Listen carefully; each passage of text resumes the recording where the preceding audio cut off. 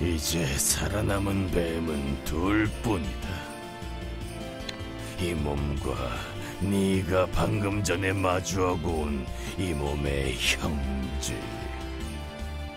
용으로 거듭날 수 있는 건 둘 중에 하나뿐이다.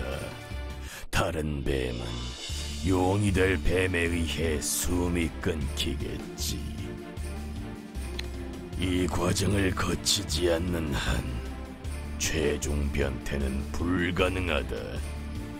이 몸이 아직까지 용으로 거듭나지 못했던 이유가 그것이었구나. 하지만 어쩌면 잘 된 것일지도 모른다. 이미 인간에게 굴욕을 당한 이 몸에게는 살고자 하는 의지도 용이 되고자 하는 야망도 없어졌다. 이대로는 용이 된다 한들 인간들의 도구로 이용당하게 될 뿐이니까 말이다.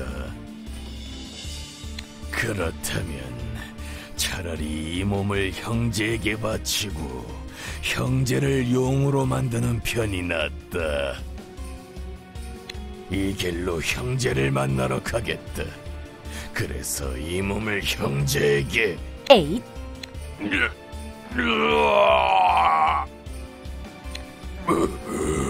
홍시영 또 니년이냐 누구 마음대로 여기서 이탈하려는 거죠? 당신은 우리 소유라는 걸 잊지 말라고요. 그건 그렇고, 그래서 당신이 용으로 거듭나지 않았던 거군요. 아직 당신의 형제가 남아있어서 말이에요. 그렇다면 이러고 있을 때가 아니에요. 당장 출동하세요, 하피.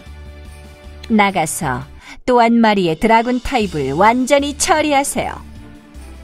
그래야 여기 있는 이 역겨운 차원종이 최상의 무기로 거듭날 수 있을 테니까요.